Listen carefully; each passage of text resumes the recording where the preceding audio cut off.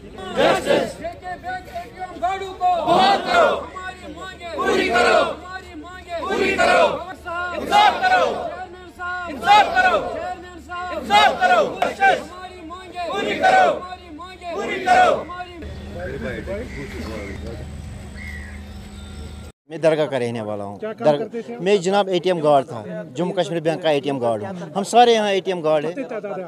हमारी तादाद ये 110 एटीएम है। हमारी तादाद 330 एटीएम गार्ड है। 330 लोगों को ही निकाला गया? निकाला गया। उनके साथ उनके फैमिली को भी निकाला। जब आदमी को निकाला फैमिली तो सड़क पे खुद आ गई 330 गार्ड है हम इस वक्त। जी। तो क्या रीजन है? क्यों निकाला? रीज़न है इन्होंने सीसीटीवी कैमरा लगाया। इन्होंने बोला कि हमें डिजिटल कश्मीर बनाना है। कि इंसान का काम अब मशीन करेगी। ये हमारे समझ में नहीं आता है वो सीसीटीवी कैसे बंदे को बोलेगा एक एक करके, अब या हेलमेट निकालो। हमारे समझ से ये बाहर है। पता नहीं हमको क्या करना है, इनको क्या हमको रोज़गार से बेरोज़गार कर दिया। एकदम रोज़गार से बेरोज़गार कर दिया। छतवाल बोल रहा हूँ, president to state president national youth party से।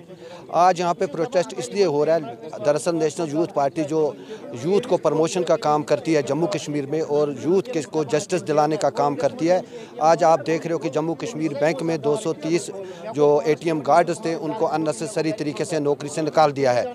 जबकि उनकी उम्र इस वक्त सतारह मतलब कि अवर एज हो चुके हैं, बुज़ुर्ग हो चुके हैं, उनके घर की रोज़ी रोटी जो छीन गई है, इसलिए उस मुद्दे को लेके हम प्रोटेस्ट कर रहे हैं। जम्मू को कश्मीर जो बैंक है, यहाँ पे जो जम्मू कश्मीर की एक सरमाया है, वो यहाँ पे लोगों के साथ बहुत ज़्यादती करती है। यहाँ पे अगर आप देखते हो पूरे हिंदुस्तान में जो रेट ऑफ़ इंटरेस्ट है वो साढ़े नौ परसेंट है। यहाँ पे गरीबों को चौदह परसेंट लगा के लूटा जाता है। यहाँ पे जो एमपीए अकाउंट हुए हैं, उन लोगों को सताया जाता है। यहाँ पे अगर सेल्फ एम्प्लॉयमेंट के लोन दी जाती है, उसको सताया जाता है। इसलिए उसी मुद्दे को लेकर जो एटीएम गार्ड्स के आज यहाँ पे प्रोटेस्ट है, ये बेरोज़गार हुए हैं, उसके लिए प्रोटेस्ट हो रहा है।